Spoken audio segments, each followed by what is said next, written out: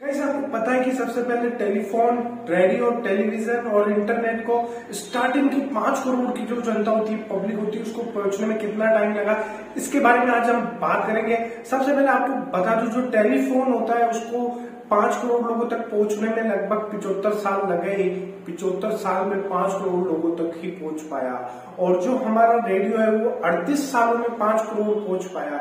और जो हमारा इंटरनेट है ना, इंटरनेट ने काफ़ी ज़्यादा स्पीड ली है। लेकिन उससे पहले भी एक चीज़ आती है टेलीविज़न जो हमारी स्मार्ट टीवी कहते हैं, आजकल स्मार्ट हो गई। पहले टेलीविज़न ओनली टीवी होया करती थी। उसको तेरह साल लगे लोगों तक पहुँचने में। और जो इंटरनेट है स्मार्टफ़ोन के द्वारा इंटरनेट पहुँचा ओनली चार सालों में पाँच करोड़ तक पहुँच गया।